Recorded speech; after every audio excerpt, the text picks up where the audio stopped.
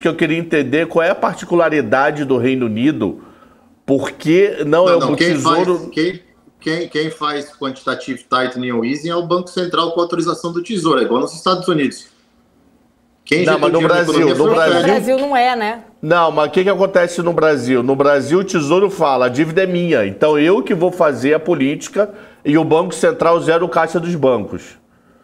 Porque o que, que ele alega? Se a dívida é minha, então é comigo que você tem a dor de cabeça e não com o BC. Então eu dou liquidez na sua dívida, na minha dívida contigo. Então, se você está precisando saída, eu faço um leilão público, porque a, o problema não está no BC, o problema não está na política monetária. O problema está que meu título está sem liquidez. E eu acho que faz muito sentido essa tática brasileira. Aí, tanto é que o leilão é do Tesouro feito de recompra pelo Tesouro. E geralmente tem uma parceria do BC, o BC faz o leilão em seguida para equilibrar o caixa da operação. Mas a operação Sim. é toda feita pelo Tesouro. Eu não entendo porque na, na, no Reino Unido é feito pelo BC, mas ok. É, eu manteria essa pequena recompra ainda há um tempo.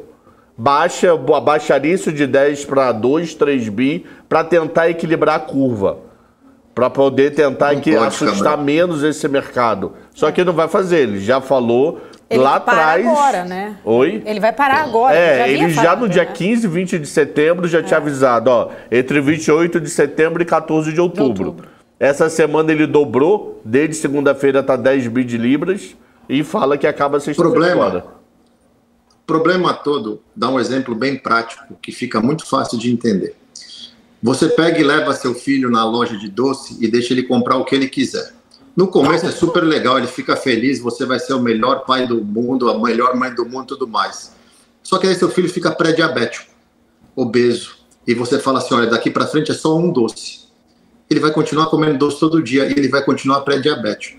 O mercado está assim, o mercado ficou viciado em dinheiro fácil, dinheiro barato. Se o BC ficar dando saída toda hora, não vai ter jeito. Então, ou infelizmente, o cara do Morgan Stanley, há uns meses atrás, escreveu um report, o Mike Wilson, que é o cara que mais acertou essa crise até agora, ele escreveu um report sensacional, onde ele falava: é melhor arrancar o band-aid de uma vez e sentir dor do que ficar evitando de pôr o metiolate nessa ferida, porque não vai curar.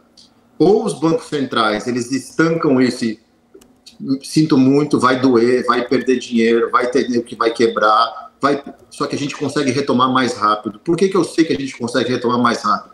Tecnologia, é, custo de produção, o mundo já se provou que o mundo funcionando em pleno vapor é deflacionário até. Aqui a economia americana era deflacionária com pleno emprego e tudo mais. Olha 2019.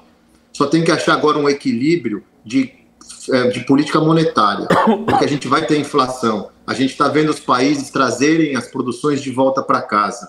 Não adianta pensar que um iPad produzido no Texas vai custar igual o iPad produzido na China. Não vai. Então a gente tem que achar esse equilíbrio agora. Tem que parar de dar doce para criança. Porque você vai viver com um filho pré-diabético ou diabético a vida inteira. Você viciou ele nisso. Como que você cura o vício? Com um choque.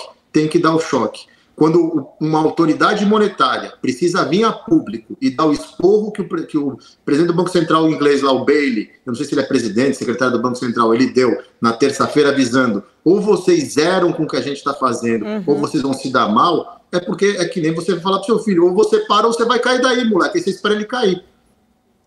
Entendeu? Não tem como, chega, tá na hora de acabar.